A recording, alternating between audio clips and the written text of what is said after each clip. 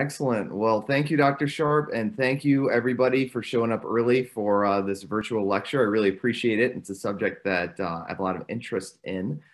Um, as Dr. Sharp said, uh, my name is Eric Varley. I'm a fellowship trained spine surgeon, uh, new at Ortho Arizona with uh, interest, in uh, MIS or minimally invasive and complex spine surgery.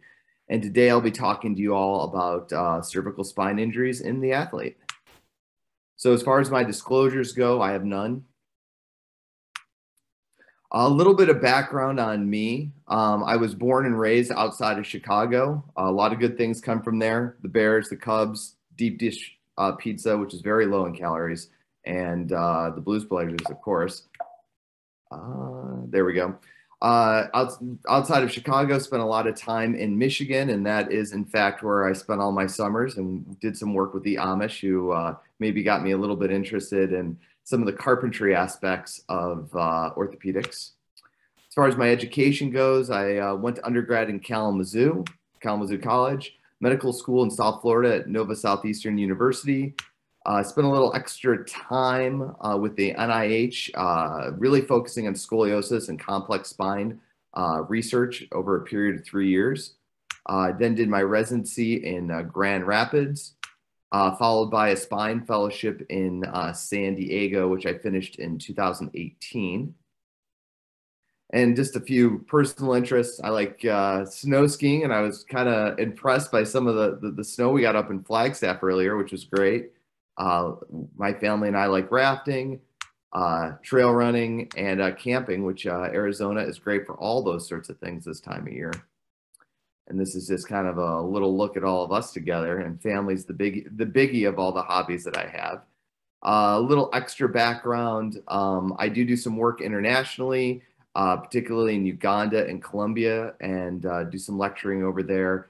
And these are some of the little guys that we took care of on my last trip uh, pre-covid so as far as uh, a little bit more in terms of my personal interest in, in uh, surgery, uh, non-operative and just general spine care, MIS uh, surgery, pediatric uh, spine surgery, and a lot of athletes, particularly the adolescents, you know, there's this very interesting bridge between transitioning from being a child to an adult, and it's uh, it's they've got interesting anatomy and interesting pluses and minuses to doing surgery on them at that age uh, as well as complex spine surgery and uh, revision spine surgery. All right, so today, what is our agenda? Uh, look at some of the basic epidemiology of uh, spine, particularly cervical spine injuries in sport. Uh, look at some of the unique biomechanics and prevention strategies. Uh, talk about the differential diagnosis. It's pretty broad, so we'll stay a little focused there. Get into the more common things like stingers, and then just kind of go down the severity list into uh, fractures, spinal cord injuries, and then really get into return to play and the evidence or lack thereof supporting it, and then uh, boil it all down to some take home points.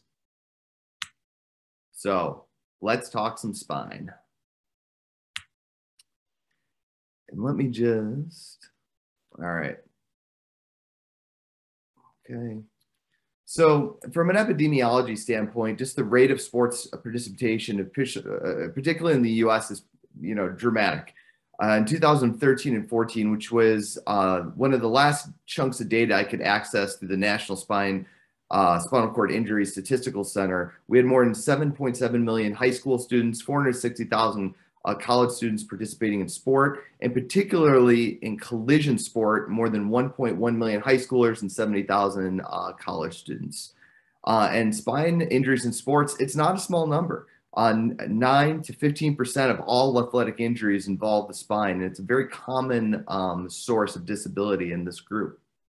In terms of spinal cord injury, which is always the big scary one that we, that uh, you know that, that we focus in on, it's not overly rare, but when you work through the numbers of people participating, it becomes a larger number. So spinal cord injury in general is about 40 cases per million Amer- Americans, or about 12,000, a little more than 12,000 cases a year. In terms of uh, where it's represented, and this is looking at all comers, not just uh, those in the athletic age, it's fourth in line between uh, or behind motor vehicle accidents, falls, which you see a little more with the elderly, violence, and then sports injuries.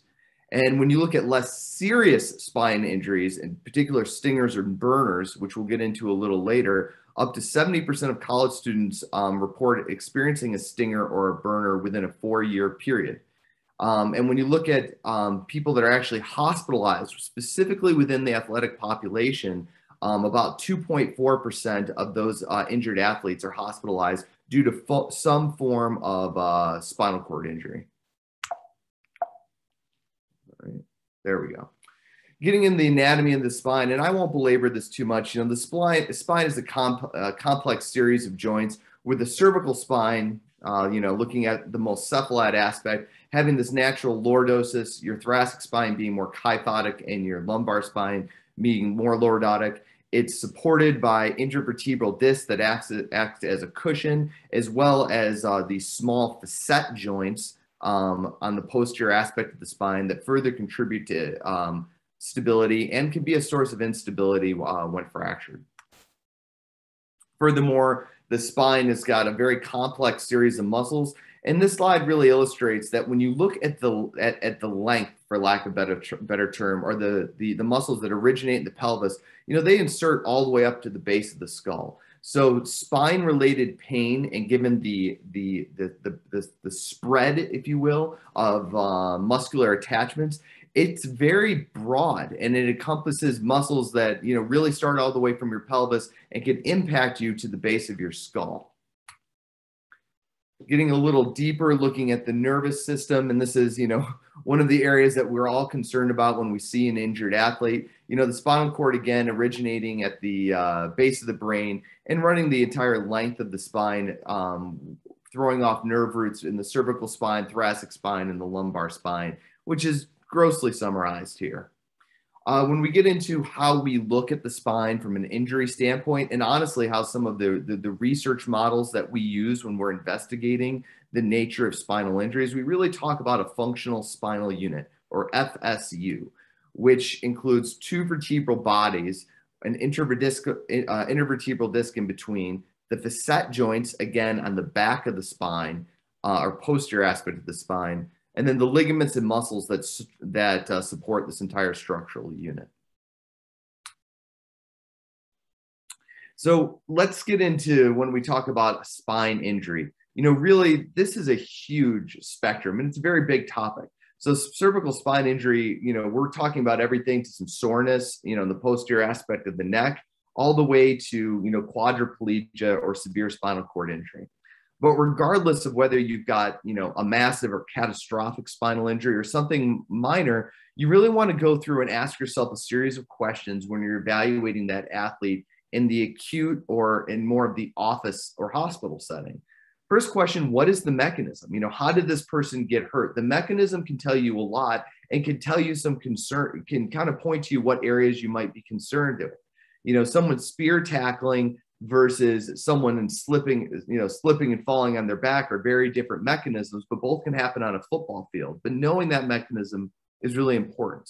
Ask yourself what part of the spine is infected. Are they eh, complaining? If we'll just talk about the cervical spine, pain more at the base of the skull, the, the middle of the neck, or that you know upper lower cervical, upper thoracic area. All those areas have kind of their own unique concerns.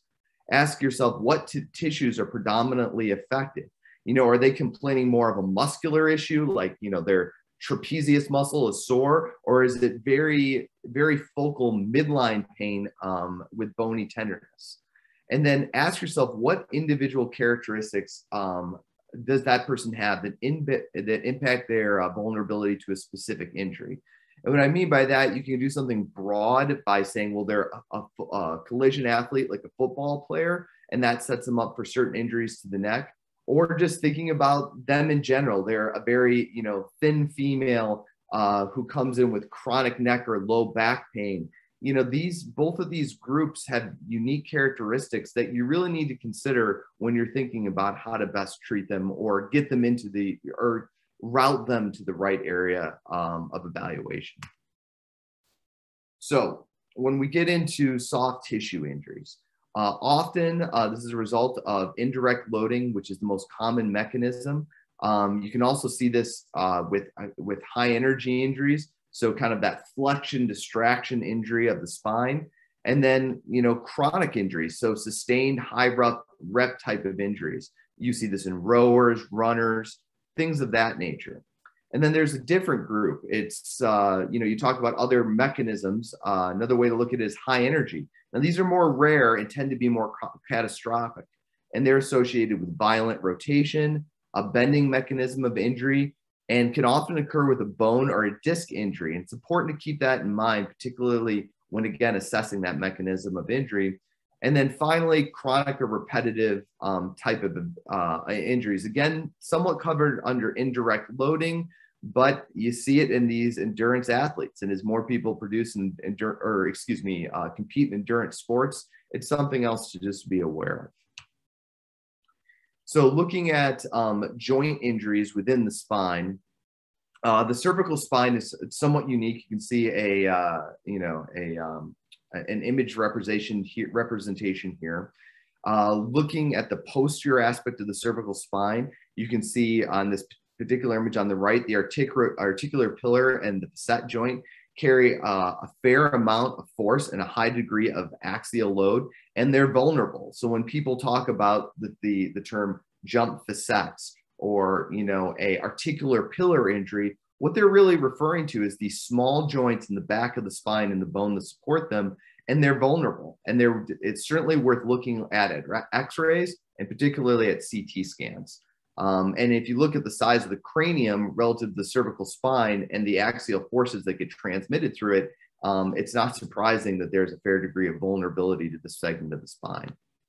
Uh, we also look at the, uh, the thoracic spine. You know, we'll touch on this briefly where there's a rib cage, which adds an increased stability. You can see injuries in rapid flexion and extension, but of the areas of the spine, this is the least uh, commonly injured in sports. And then lumbar facets, uh, most common, it's a low back issue uh, and uh, often a result of rotational forces. So looking at um, uh, mechanisms of injury and injuries uh, to the associated uh, bony anatomy. Uh, you look at it from terms of uh, energy distribution. So high injury, high energy, you're looking at direct injury and destabilization and then indirect uh, injuries. So one example is clay shovelers, which you see up here on the top right. Um, this is where you see a spinous process uh, fracture, and you see it with people with heavy, uh, heavy uh, shoulder sports like golfing, rock climbing. They complain of pain. They don't really have any traumatic mechanism of injury, but you get a CT scan and you see it, and it's really an indirect injury just from the muscle forces transmitted to this segment of bone that you see with those aforementioned sports. Also look at pars interarticularis uh, injuries. And you can see here in the lower image, this is the lumbar spine, but it's a good picture because you can see the pars is that piece of bone that connects the superior facet and inferior facet. And when these are inj injured in the uh, athlete in the lumbar spine, we've got a series of options as far as treatment. And similarly, in the cervical spine, there are these pars interarticularis, interarticularis uh, bony structures. And it's important to note in the cervical spine that if you get a report that describes a pars interarticularis injury in the cervical spine, that is a, a big uh, do not return to contact sports until it's evaluated and possibly treated. Um, but if you hear a pars injury, whether it's in the lumbar spine and the cervical spine, it certainly warrants further um, further evaluation. And then we get into other stress type fractures in the lower uh, uh, lumbar spine and sacrum, again from repetitive impact loading seen in volleyball players and runners. So the big scary, uh, as we like to call it, spinal cord injuries. Um, the incidence of these vary drastically by uh, anatomic region, most commonly seen in the cervical spine. Uh, the, the, mechanism that we often see is an axial load for, uh, applied to the cervical spine with either a flexion or extension uh, component. And it's important to note that sports is the second most common mechanism of spinal cord injury in patients under 30. And like we talked about before, it's the fourth most common um, mechanism of uh, injury for all comers. So it's a fairly frequent uh, cause of the somewhat rare um, pathology. And uh, stay tuned. We're going to get into a little more detail of that, um, but hopefully not too much a little bit later in the talk. So where we talked about before asking the area of the body that the that or the area of the spine i should say that the athlete is injured. And each area of the spine has its own unique uh, concerns. So focusing in on the uh, cervical spine it's relatively small small from a bony standpoint compared to the cranium. Uh, when you look at stability uh, the osteoligamentous structures provide about 20% but 80% really comes from the strong anterior and posterior uh, neck muscles that support the structure. Uh, mechanism of injury. Initially, it was thought that the rotation of the head or the amount of force applied to the head um, was greater than the spine range of motion, and this could result in bony or ligamentous injury to the spine. However, this theory has been revised and was uh, published in in the uh, mid 90s, and it, we now look at it more as a buckling phenomenon. So forces um, applied to the spine um, are distributed based on the complex shape of that spine. And there are areas of the spine where there's areas of pure compression on the bone, compression and flexion, um, comp- compression and extension. And there are different regions of that spine that experience these different forces. And it doesn't take much for these forces to disrupt the cervical spine. And indeed, you can see just 16 kilograms of mass traveling at 3.1 uh, millimeters per second is enough to disrupt the cervical spine. But again, that disruption is more mediated, we think, through this buckling mechanism as opposed to all the force goes to one area due to one movement. It's more complex than that. When we compare that um, to the thoracic spine, one reason we don't see as many injuries is a, the rib cage kind of acts as a fourth column of the spine, giving additional uh, support um, and adds torsional power for throwing type activities. And then the lumbar spine, um, you can see issues with you know chronic overloading and spondylotic change. Acute lo- uh, loading can lead to compression or burst fractures, um, and sports injuries and de- uh, destabilizing, destabilizing spine fractures are often a little bit less common as a, a source of, um, of uh, pathology in this group or in this region of the spine. Excuse me. So cervical spine injuries. Again, uh, this slide just goes to just goes to again emphasize huge range of pathology. So first, when you're evaluating the uh, you know the the the athlete on the field, you want to again observe that mechanism of injury. It can give you a lot of information, and if you're seeing them after they've been seen on the field, that mechanism of key is key. It's important uh, to understand that athletes with loss of consciousness, acute mental status change, they are absolutely presumed to have a cervical spine injury until proven otherwise. Uh, and once you see an injured athlete, it's important to follow the neck pain algorithm, which is this uh, next slide here. Um, this is from the American Journal of Sports Medicine. It's a little bit of a busy, of a busy slide, but you when you look at it, but the big questions that you're asking is: Are they are they having neck pain, and are they having extremity symptoms? And I highlight this uh, little area on the uh, on the slide because if the athlete doesn't have neck pain, but they are having extremity symptoms, that really lines up more with a um, brachial plexus, a neuropraxia, or a burner or stinger. But it's, important in this group also to ask are they experiencing diffuse pain or are they experiencing pain that they're like, yeah, it radiates along a specific um, dermatomal distribution of the arm? But if the examinee is having neck pain, if you look at these other, um, um, if you look at this flow diagram and you look at the other possible diagnoses, neck pain immediately puts you into concern for osseous injuries, ligamentous injuries, and neck pain is when we take it seriously. So if you see a, a, an athlete and they're complaining of, oh, my whole arm is numb and it's a stinger sort of situation, but they also are complaining of neck pain, that is far different than the athlete that just has that isolated diffuse upper extremity numbness and tingling. So if a structural or neurologic injury is suspected, again, immobilization, rigid collar, and a backboard. And you want to be working with a team that's familiar with log roll and those sort of techniques. You want the face mask removed for um, access to the airway and maintain the helmet. The big red, if you're in a collision sport, let's say, uh, big red flags are LOC, which is loss of consciousness, or AMS, or acute mental status changes, bilateral neurologic symptoms, uh, focal spine pain or tenderness in the midline of the spine. And then if someone has got a low uh, Glasgow coma score of eight, this is often associated with a spine injury. and they might not be complaining of their spine, but if their uh, mental status is is poor or they have that GCS score again of less than eight, immediately suspect cervical spine injury. So getting into the differential diagnosis, you, you know, you've seen the athlete, perhaps they're, you know, you're seeing in the hospital or maybe you're seeing in the office for follow-up. Um, you can see this table really lays out the diagnoses uh, on the far left and then some clinical examples on the right kind of working through the table in, in, uh, in a stepwise fashion. Cervical spine sprain or strain, which is obviously one of the less serious injuries that we worry about. What you're looking for is an athlete that that um, doesn't have neurologic symptoms. You can see circled here more muscular tenderness, uh, range of motion is limited by pain, and then just again a normal neurologic exam is key.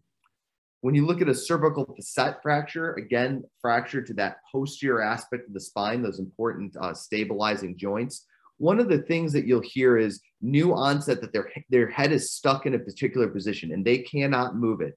Um, and you see, you know, neurologic symptoms are often present, but not always. And it typically occurs with a high energy trauma. And this is a big, you know, this is a big concern when you see an athlete's neck locked, lots of pain, plus or, lot, plus or minus neurologic symptoms. That's spine precautions and evaluation in the ER. When we talk about our slightly older athletes with degenerative issues, what they often complain of is axial symptoms, so just generalized spine pain that outweighs radicular symptoms. So they might complain of a radiculopathy of their arm and axial symptoms, but they don't really say that their arm is locked and it's more of a radiculopathy presentation as opposed to both arms are numb and they have some sort of a co- uh, concomitant head injury. And then looking at cervical radiculopathy, dr- dr- drilling down on that a little bit more. Oftentimes, when someone complains with a pure cervical radiculopathy, palpation of the spine doesn't reproduce pain. So if they're complaining of you know, kind of pain in their trapezius and shoulder and it's diffuse and you're worried about the spine and, and it radiates into their arm and they're not painful when you touch their spine or really palpate that midline structure, that usually leads you more along the road for cervical radiculopathy type diagnosis. And then um, finally, peripheral nerve injury. This can be exacerbated by head position, but it's important to realize these patients generally do not complain of any neck pain and there's no exacerbation of their symptoms with neck motion. Um, that's important to distinguish from cervical radiculopathy, where often if you flex their head and rotate it to the side of their extremity symptoms, they have worsening symptoms. Where people with peripheral nerve injury, they really don't manifest that. It's it's it's more distal than that. And then um, while it, there, it's an interesting subject, uh, sorry, let me just get back in there. Um, uh, shoulder injuries, including rotator cuff tears, glenoid uh, uh, labral injuries, and glenohumeral uh, degenerative joint disease should also be considered, but are outside of the scope of this talk. All right, so uh, getting a little further into it. Burners and stingers. it's one of the most common uh, spine injuries that we see, particularly in the collision athlete. So what am I? What do I mean by this? So it really represents forceful contact, uh, contact to the neck or upper extremities, kind of as uh, de- demonstrated in this diagram here, where you have a stretch type injury with lateral bending or a direct injury overlying the brachial plexus. It's typically manifests um, with temporary sensor or motor deficits to a single um, uh, extremity. If they complain of bilateral extremity symptoms, that's an immediate red flag for a spinal cord injury or an unstable fracture as opposed to a temporary unilateral symptom.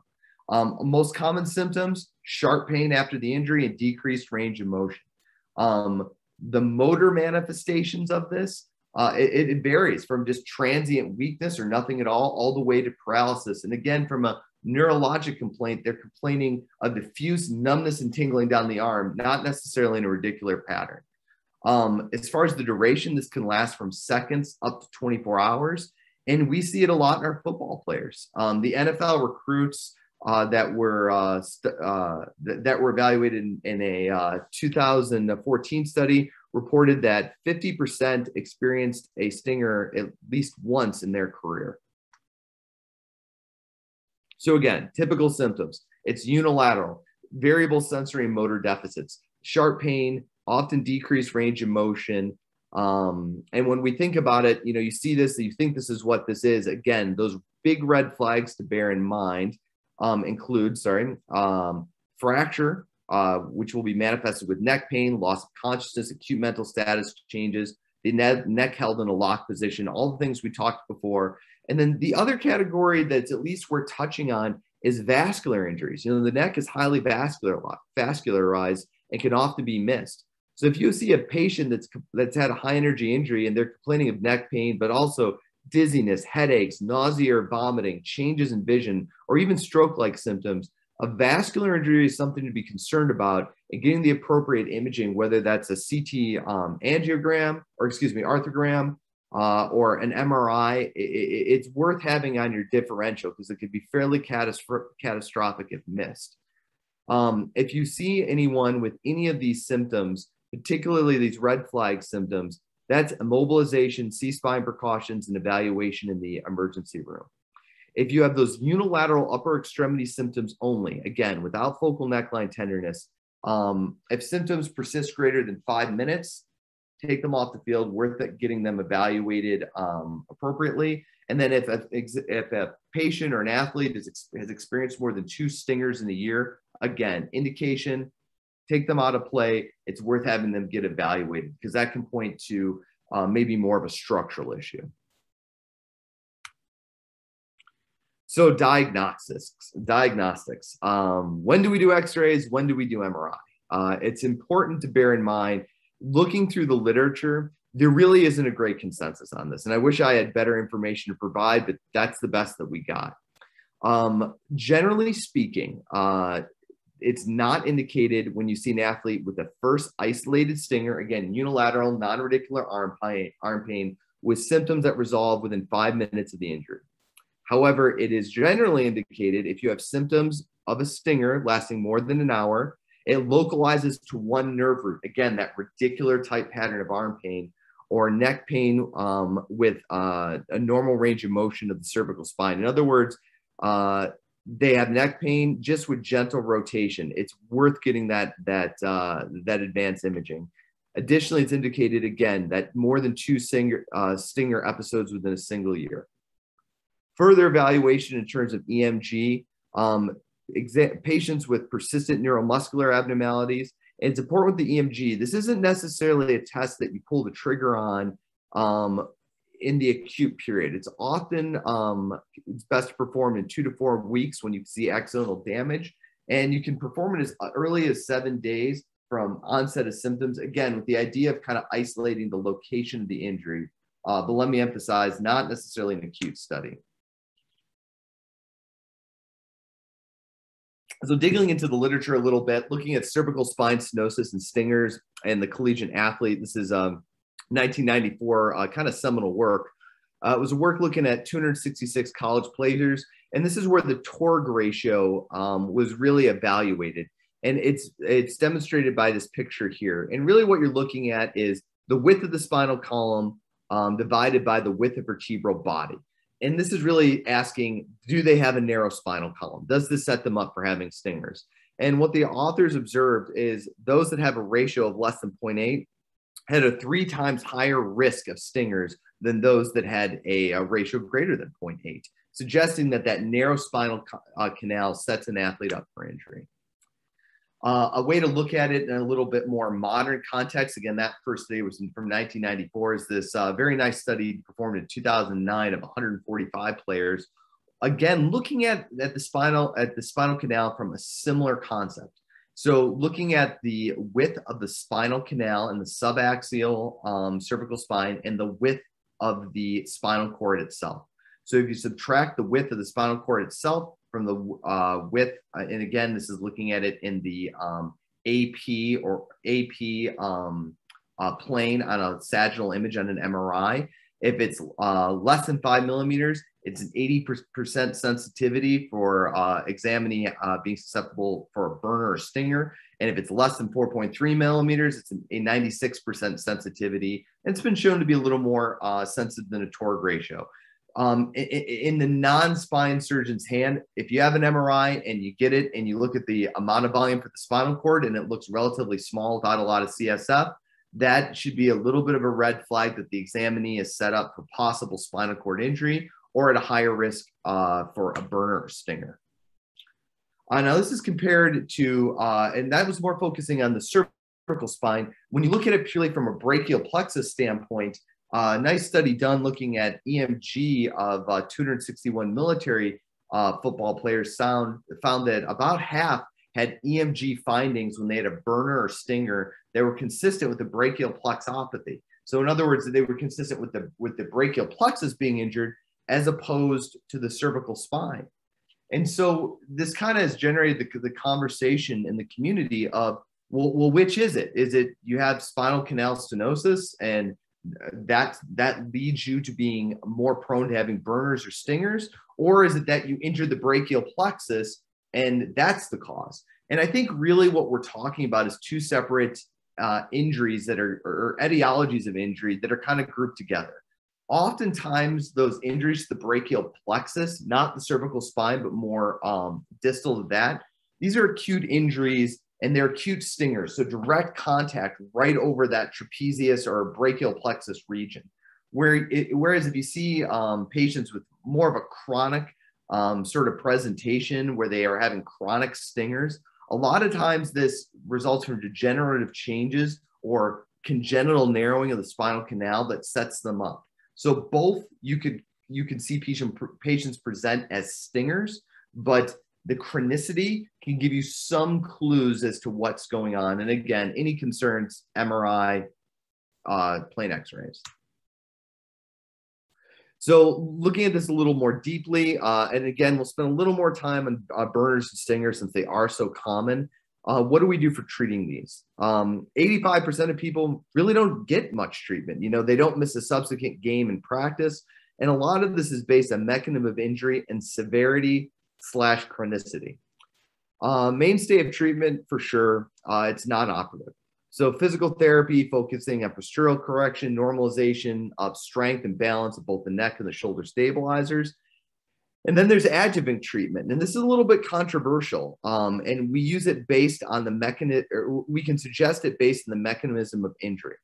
So an example here is a neck collar and neck rolls in football players and it can protect the uh, athlete from having hyperextension to the spine. But remember, it also places the, the athlete's head in a slightly more flexed position. So if you've got a younger player that's spear tackling and you put them in one of these and it puts them in a little more flexed position, you can actually increase the risk of spinal cord injury. So understanding the mechanism of injury, understanding that particular athlete is important when even when evaluating these more um, or less invasive treatment regimens such as neck collars and neck row neck rolls.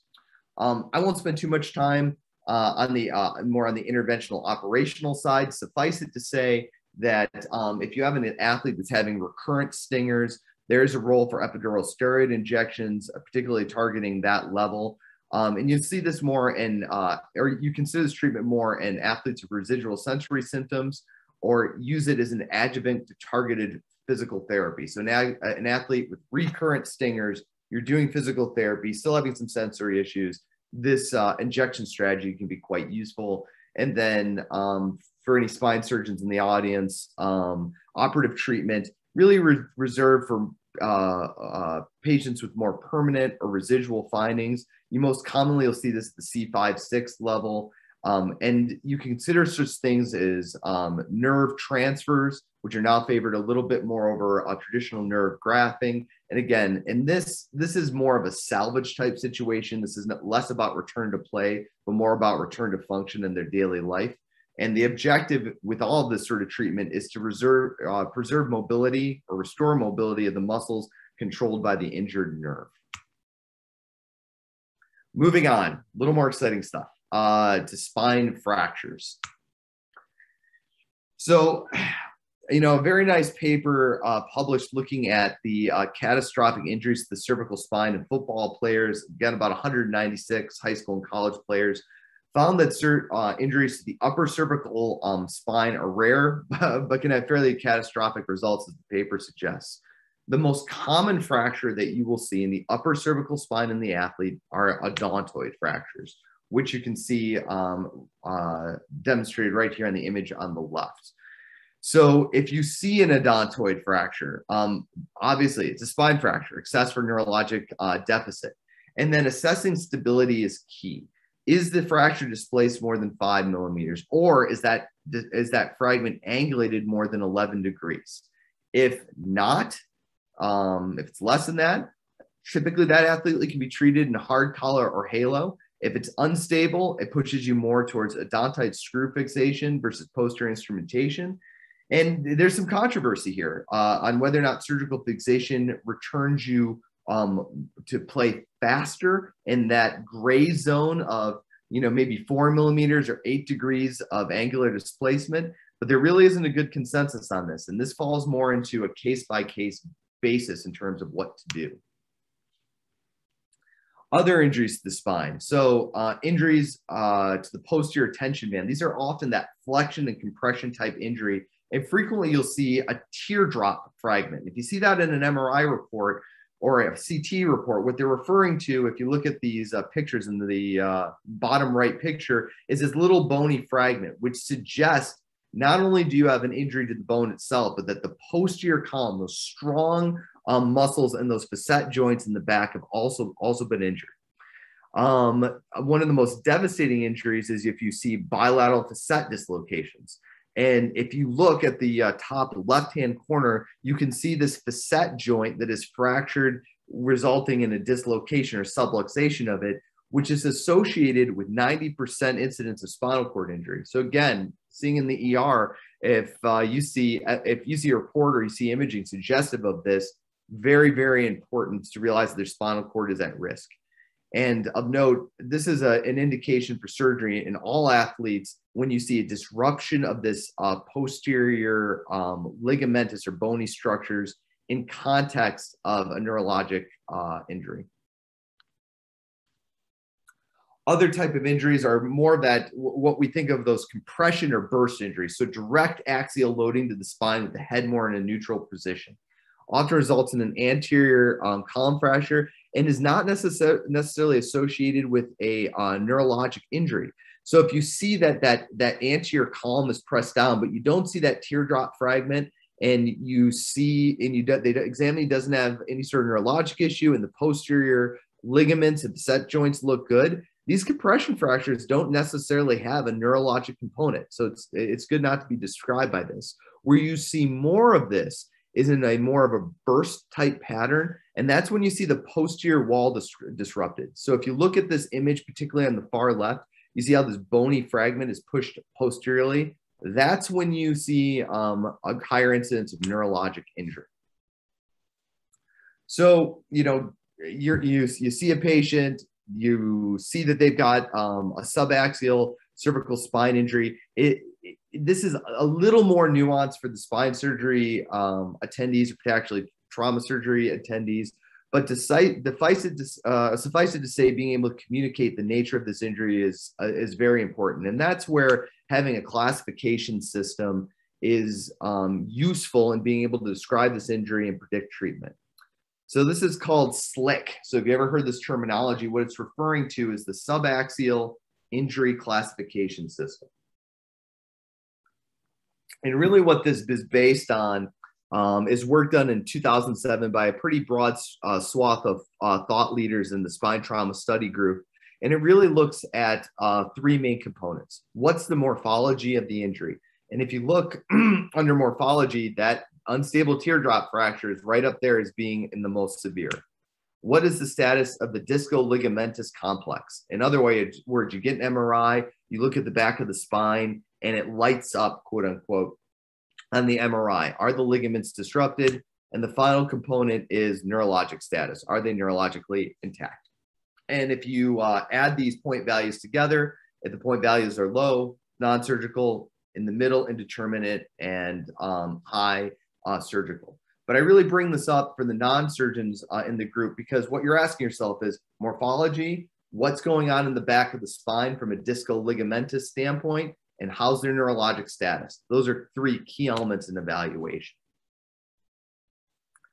So moving a, a little bit deeper into uh, spinal cord injuries, you know, these are rare. but these are devastating and it's you know the big scary that we that, that we all worry about um, one of the number one things to bear in mind and, and if we have any athletic trainers in the audience you know this is key this is where you or the ems providers come in big thing is cervical spine precautions if they have altered mental status midline neck pain high mechanism of injury loss of consciousness full c spine precautions until proven otherwise because what we want to avoid is those athletes with an unstable injury that get further injured by virtue of the treatment they receive. So if you see any of those things, I can't emphasize enough the importance of cervical spine precautions in treating these patients.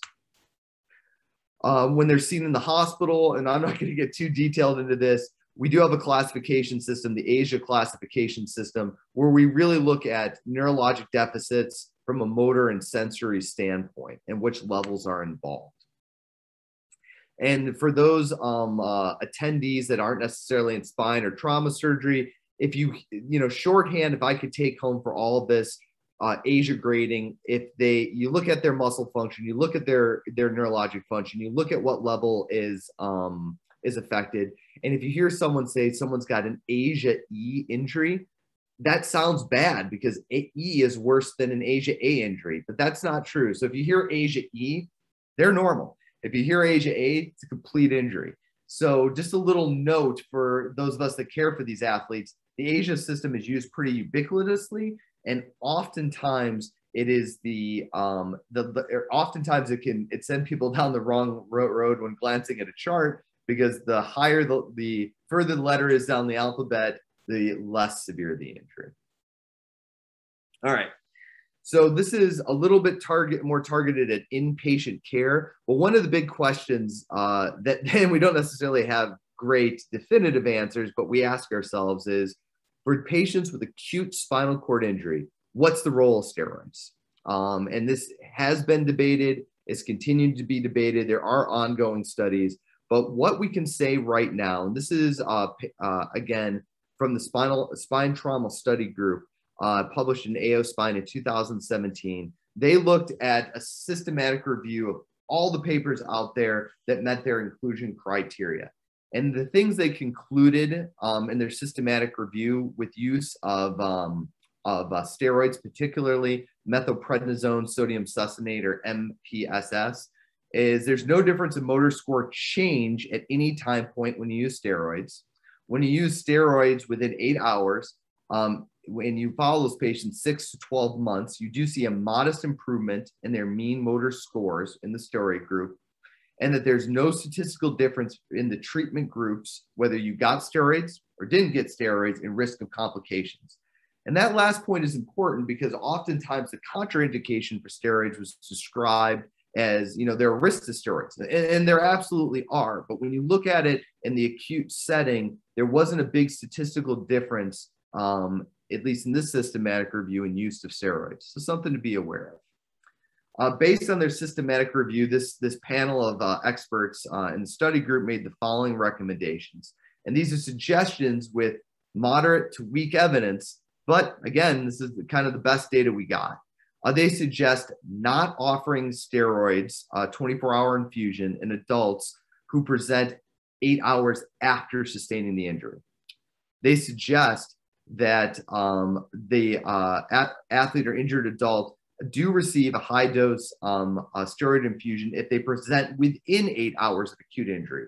And a lot of times that's the athletic treatment group or the athletic uh, population we're talking about. Uh, and then finally, they uh, suggest not offering a 48 hour infusion or two day infusion in adults with this acute spinal injury. So, in other words, more steroids doesn't exactly equal better outcome. But if you see that injured athlete within the first eight hours and there's no big contraindications, it's worth considering um, beginning steroid management because, or steroid infusion for 24 hours, because that eight hour time window evaporates pretty quick. So we talked a little bit about steroids. The other question, and this is a little bit more surgical, but again, important for ER providers or, or, or those providers in the trauma service, is when do we do surgery if a patient has been determined to have an acute spinal cord injury and, and some compressive pathology? Uh, so this is uh, in a fairly uh, big journal, uh, The Lancet, just published in 2021, looking at about 1,500 patients from four big data sets of uh, spinal cord injury. And what the authors uh, found when they looked at these at two groups, first group about 500 people that got early surgical decompression less than 24 hours, and the other 1,000 patients that got uh, surgical de- decompression greater than 24 hours is those that got early um, surgical decompression statistically had um, more improvement in their sensor motory recovery. And those that had surgical decompression in more than 36 hours really didn't see the improvement that those um, that had surgery in the first 24 hours. So when an athlete has a spinal cord injury, when we're, whether we're talking about steroids, um, which you want to get within the first eight hours, or surgical decompression within the last 24, 24 hours, ideally, timing is critical and these hours evaporate quickly. So if seeing if these uh, patients are seen on the sideline, seen on the field, seen in the emergency department, getting the ball rolling is really important in terms of affecting their overall outcome, whether we're talking about steroids or we're talking about surgery. So return to play, which um, is always a big question in, in this patient population. So I'm going to kind of call heavily on this uh, article out of the Journal of Neurosurgery, which is really the most up to date evidence based return to play guidelines um, I can provide, um, looking at a consensus study through the Cervical Spine Research Society. Um, now, some of these slides are a little bit busy, as you can see, but I'm going to try and pull out just the recommendations that had a super majority and a strong consensus. So, sorry, let me get there when we look at um, patients with cervical stenosis, again, that narrow canal, we talked about the TORG ratio or the spinal cord to um, spinal canal volume. So patients that are that have narrow, narrow stenotic cervical spines. Um, so following an episode of transient paralysis, so more of a stinger, um, asymptomatic athletes that have an MRI performed and they see their spinal cord doesn't light, light up, um, if they've got more than 10 millimeters of space, okay to return to play. For patients that have less than 10 millimeters of space, basically that should be evaluated by a spine surgeon and should be taken care of on a case by case basis. When we see similar athlete, transient episode of paralysis, um, and an asymptomatic athlete that has a resolved T2 uh, signal changes. So, in other words, this is someone that got hurt, had a transient episode of paralysis, had an MRI, saw the spinal cord light up, had a subsequent MRI, and that that that quote unquote lighting up or increased signal um, has resolved.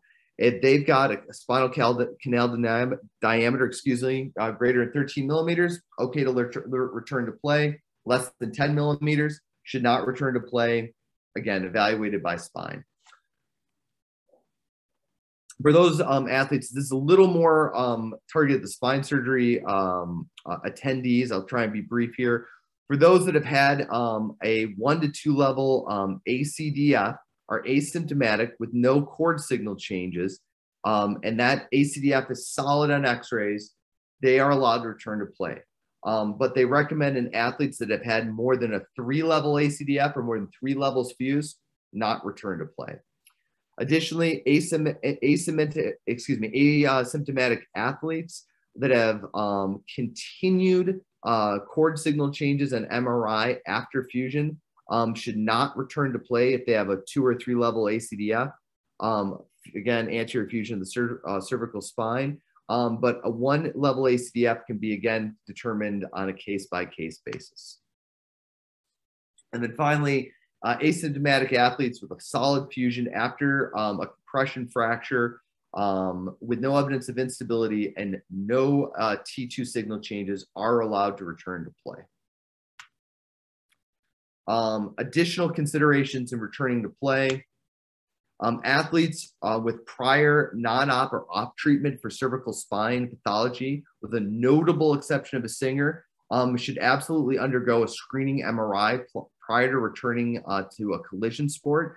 And I would even advocate if you're unsure if it was a stinger or not, you know, they present with this diffused arm pain, but maybe some neck pain. Worth getting an MRI to screen them out before returning them to a sport. So when in doubt, MRI not a bad choice. And then athletes who are asymptomatic, uh, less than five minutes following a stinger, are able to return to play. But those um, athletes that have symptoms lasting more than five minutes, and again, this is isolated diffuse arm pain. We're not talking about people with neck pain or loss of consciousness.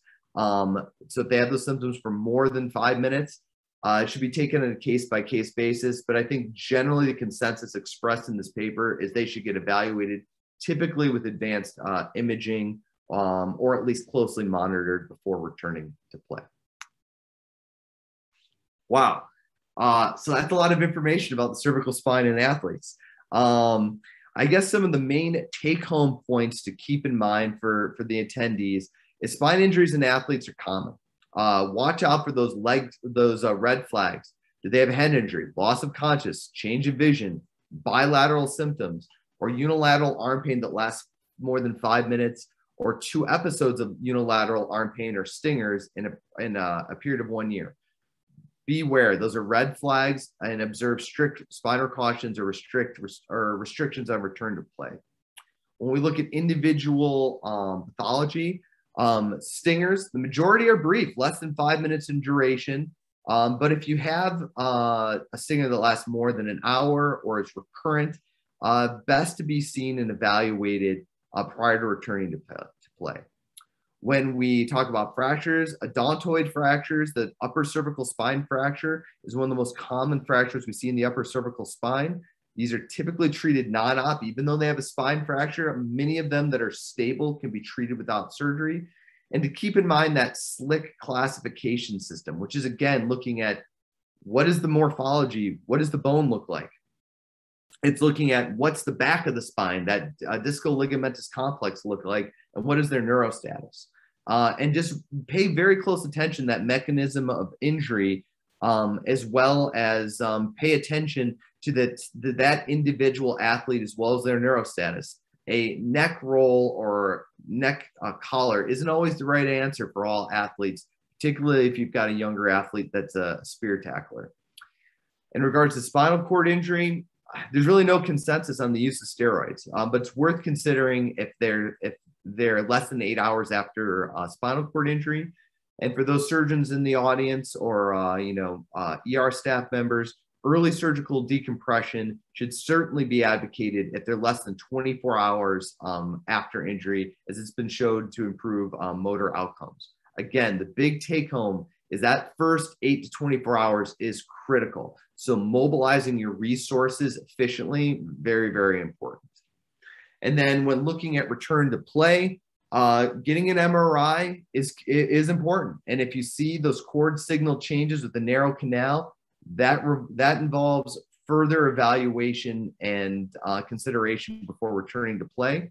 If they've had a fusion, not nece- and they're asymptomatic, doesn't necessarily mean they can't play if it's a one to two level fusion. So worth considering. But generally, if they have more than two um, levels, they're uh, suggested not to return to play in a collision sport.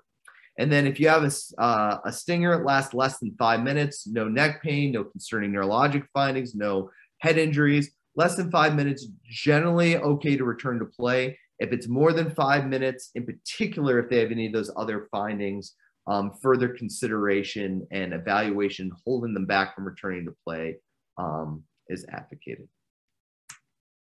So uh, the final caveat to all of uh, those return to play recommendations and treatment recommendations is a lot of this is based admittedly on level four and five e- evidence. So expert opinion or consensus opinion. So, you know, these aren't necessarily absolutes, and I wish I could give you better absolutes, but this is the best information that we can provide based on the level of evidence that we have available. Um, but again, it's limited. So that's certainly a limitation as we look at the recommendations uh, uh, and what we've discussed in this presentation today. So I just want to say thank you to you all. I really appreciate everyone that attended today. Um, and I'd love to open it up uh, to questions.